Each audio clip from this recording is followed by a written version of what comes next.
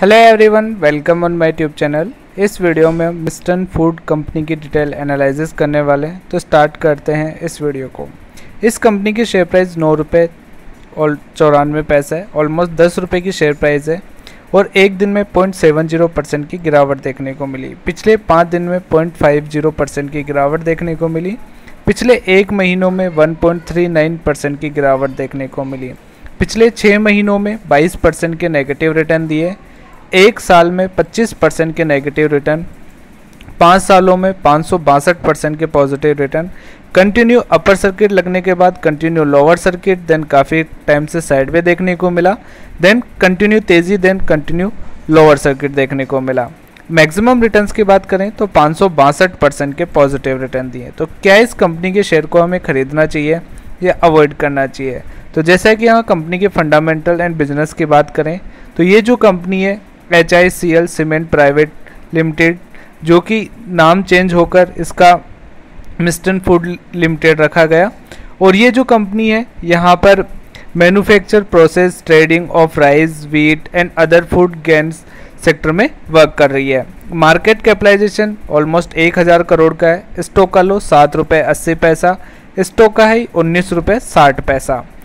Dividend yield point zero zero three percent है, यानी company dividend भी दे रही है बट बहुत कम यहाँ पर। पी की बात करें, पच्चीस पॉइंट सात है आर ओ सी अड़तीस परसेंट है रिटर्न ऑन इक्विटी छत्तीस परसेंट फेस वैल्यू एक रुपये की है प्रमोटर होल्डिंग पचास परसेंट है प्लेस शेयर्स ज़ीरो है। कंपनी के कोई भी शेयर्स प्लेस नहीं है।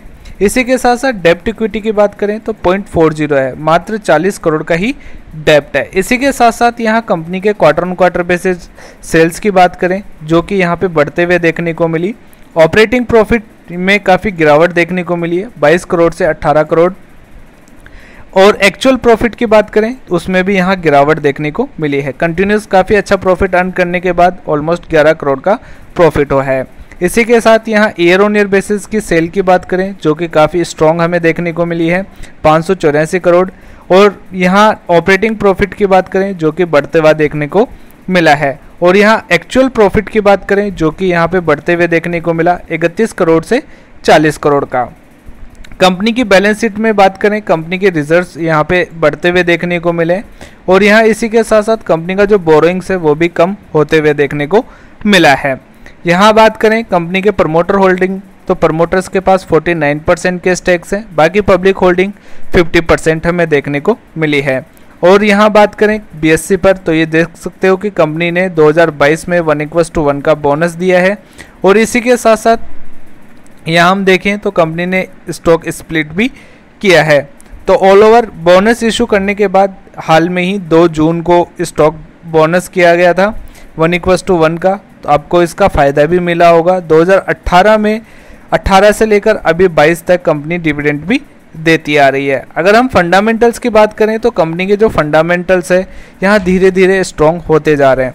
अगर आपके पास इस कंपनी के शेयर हैं, आपने पहले ही इस कंपनीज़ में इन्वेस्टमेंट किया है तो आपको पेशेंस रखना चाहिए।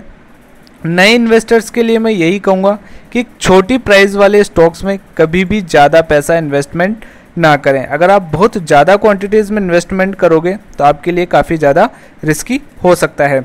अगर आप नए हो और स्टॉक मार्केट में सीखना चाहते हो पेनी स्टॉक से तो आप 10-20 स्टॉक लेकर इसमें सीख सकते हो। बट बहुत ज़्यादा क्वांटिटीज़ में इन्वेस्टमेंट करना आपके लिए काफ़ी ज़्यादा रिस्की होगा।